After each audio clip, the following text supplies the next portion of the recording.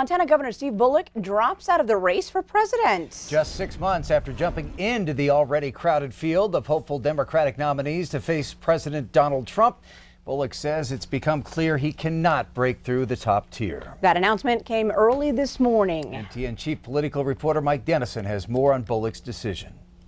Bullock made the announcement with a statement to CNN at 4:30 a.m. Montana time. He said it had become clear that he's not going to break through the top tier of Democratic candidates for president. One of those moments of clarity had to be this month's Iowa poll by the Des Moines Register.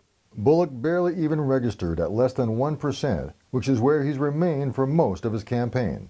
I spoke Monday with the Register's lead political reporter, Brianne Pfannenstiel, who said the poll also tallied which candidates voters might consider as second or third choices. For, for Governor Bullock, even all of those metrics, he was pulling at only 8%.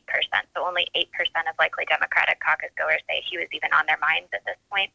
And that's a really tough number to come to come out of. Bullock spent a lot of time in Iowa hoping to break from the pack. He was campaigning there just a week ago and was there Sunday to tell his Iowa staff face to face it was over.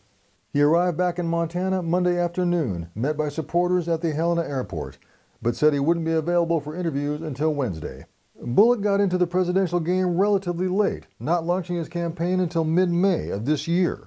Montana State University political scientist David Parker said Monday that many Democratic voters who might want a moderate like Bullock had already lined up with others, like former Vice President Joe Biden.